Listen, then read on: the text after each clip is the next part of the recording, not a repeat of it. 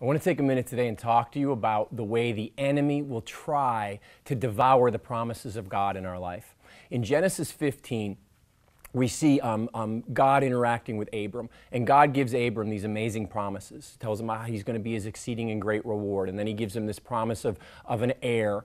And and Abram receives the promise, and God even says that he counts Abram righteous because of his faith. But I find it interesting that right after that, the enemy starts assailing Abram with questions of fears and doubts. Because in Genesis 15 8, Abram cries out to the Lord soon after he's received these promises, Oh Lord, how will I know that you will give these promises to me?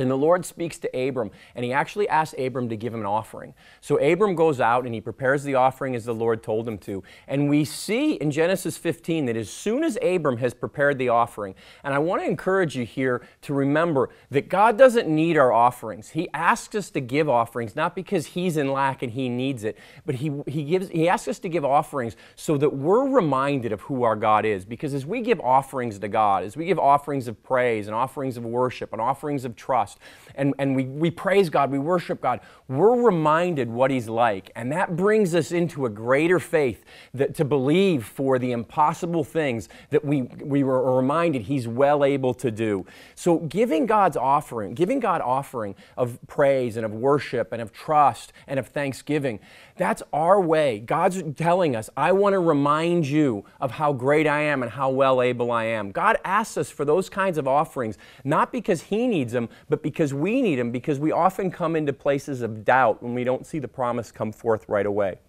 And that's what we see here with Abram.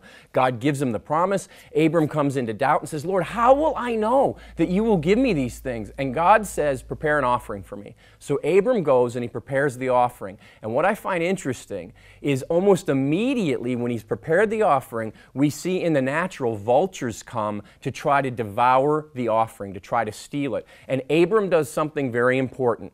He doesn't just go, oh man, they're going to steal my offering. I give up. No, he chases the vultures away.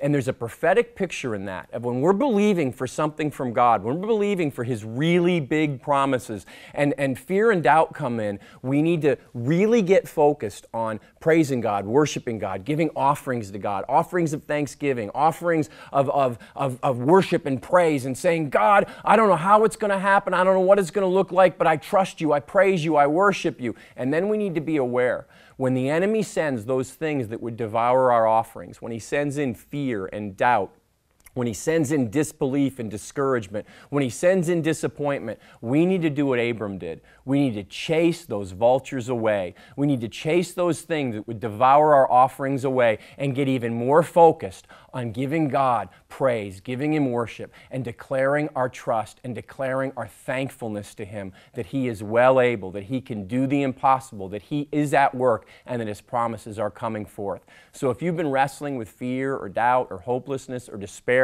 and any of those other vultures, just chase them away. Take a moment today and chase them away by declaring the goodness of God, the greatness of God, the trustworthiness of God, the faithfulness of God. You start worshiping God, you start praising God, and you watch. Those vultures will be chased away, and the things the enemy wanted to devour your offering, you'll actually be giving greater praise to God in no time.